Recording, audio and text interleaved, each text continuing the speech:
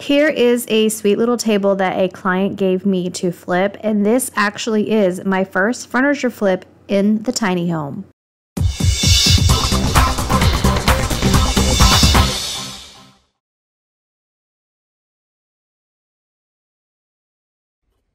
This sweet little table has a lot of beautiful detail and curves. It has been through a few moves though, and it's previously painted so there are some scratches and dings all over. I do like the black paint, but I just feel like it can be and needs more. Plus, this little table is the perfect size to be my first flip in the tiny home since I'm now limited on space. There is only one little drawer, so I do go ahead and remove the hardware. Next up is to give this piece a thorough cleaning. So I use my double pail bucket. This is a Rubbermaid bucket that I got off Amazon. One side I have warm soapy dishwater with Dawn dish soap and the other side I have clear water to come back and rinse. I go through first with the soapy water and give it a nice scrub down and get all the nooks and crannies and use my fingernail to press that washcloth into all the details. After I go over the piece with the soapy water, I do come back with a new cloth and give it a nice rinse to rinse away any remaining soap residue, and then I let that surface air dry.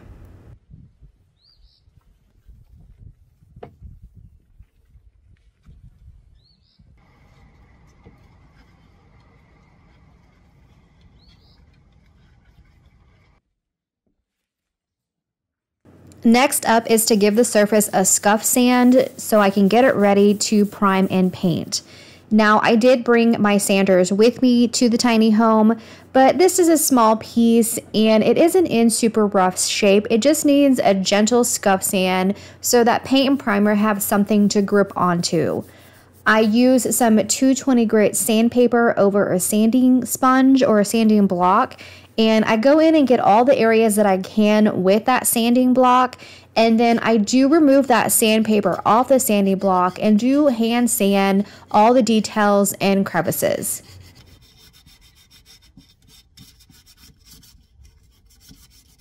Next, I knock away the loose dust with a feather duster and then come back with a damp lint-free cloth and wipe away any remaining dust residue.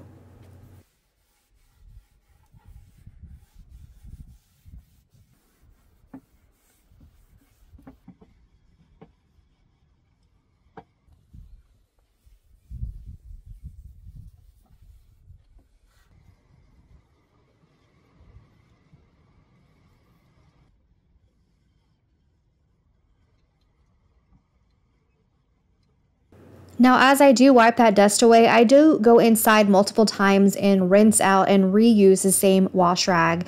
And then I do let that surface air dry.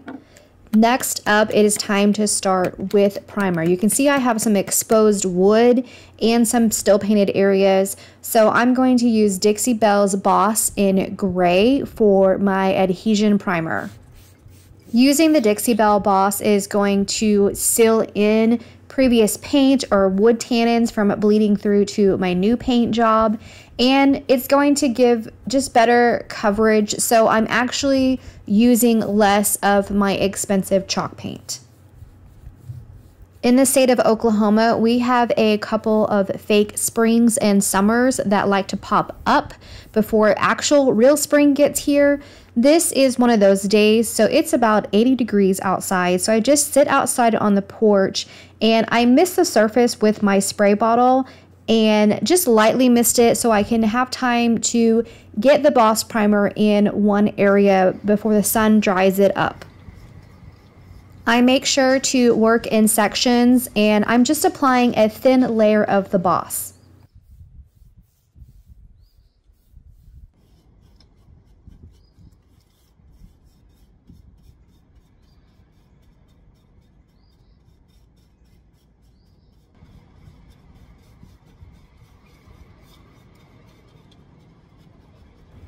I let the first coat of primer dry for two hours and then come back add that second coat of primer. You can see with the second coat is where I get that full coverage. I do let the two coats of primer set for 24 hours before I move on to the next step.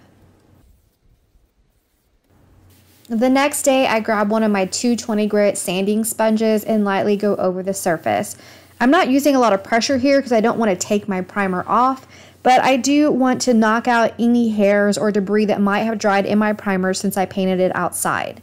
Then I come with a microfiber cloth and wipe away that sanding dust. For paint today, I am using Dixie Belle's Caviar. It is their black chalk mineral paint. So when I use Dixie Belle, it's really thick paint, so I normally mist the surface with a little bit of water and then apply the paint. And right about here is when I remembered that that isn't only just Dixie Belle's Caviar. I do have some other enamel paint mixed in with it. And I forgot to write on the label that it was a mix and no longer just the chalk mineral paint. So that was a whoopsie on my mistake. So, note to self, learn from my mistake. If you add water, to mix to spray or add another color in, make some kind of note on your label and don't expect yourself to remember the next time. Now, this was the leftover paint that I had thinned out to spray. If you remember those black and gold chandelier nightstands that I did, this is that leftover paint from that. So, to get full coverage, it ended up taking me three coats of this black paint. And just so you know, again, that's not normally how Dixie Belle's paint is. It's usually really thick and you have full coverage and one to two coats of paint. So this is just because I mixed it with something else and thinned it to spray through my spray gun. Now, since this does have enamel paint mixed in it, I do, like I said, three coats and I do allow it to dry two hours in between each coat. And then all I let all those coats of the paint dry overnight before I move on to the next step.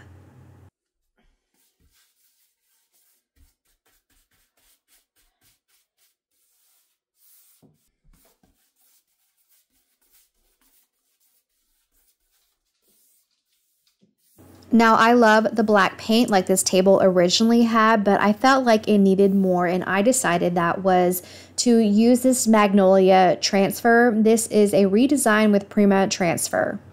I cut up the transfer into pieces and kind of arranged it by flowers and then leaf collection.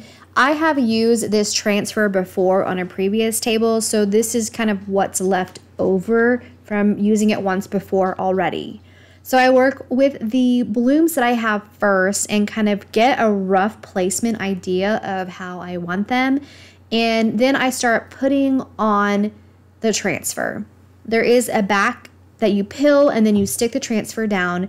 There is a burnishing stick that comes with the transfer in the process of the move, I've lost all of my burnishing sticks. So right here, I'm actually using a spoon out of my kitchen. And you know, you gotta work with what you have.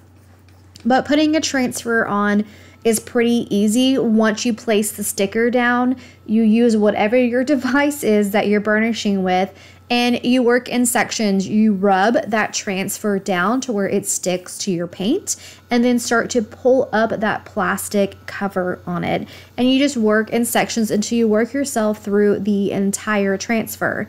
Then you come back with that clear plastic piece and rub your hand over the transfer to work out any wrinkles or air bubbles that might have gotten underneath the transfer during application. One thing to consider when you're putting your transfer on and thinking about your design, whatever you put on top is what is going to be visible. So I put the leaves and some of the flowers, but I wanted to make sure I had it placed to where the flowers were the most exposed and visible things. After I got the transfer on, I did scuff sand with a 400 grit sanding sponge. So this is a super fine sanding sponge. I just glided over the chalk painted area and slightly over the transfer, and I'm getting it ready for top coat.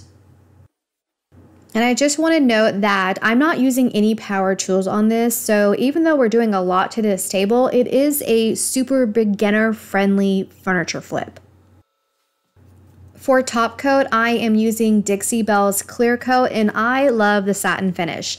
And this is not one of the products that I have tainted or mixed with, so it is just the straight clear coat in the satin. I use a brush to get into all the details and then I come back with a top coat sponge. I dip it into the top coat, wipe it on the edge so I can wipe away the excess, and I go back over the detailed areas and all the flat surface with that top coat sponge. Applying the top coat with a brush leaves strokes, but I need that brush tip to get into all that detail. The sponge, as I go over the surface with the sponge, it wipes away those brush marks so you get a smooth finish with no streaks, no lines.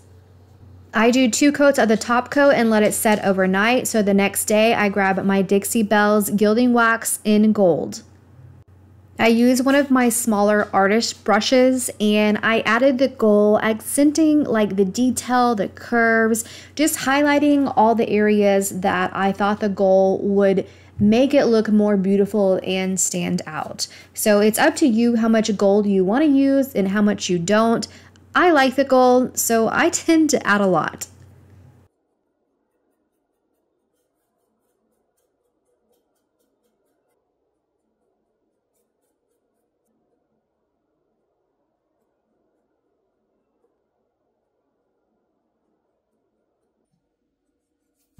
I also added the gold gilding wax to the handle and then I put the handle back on the drawer and then after that this piece is done.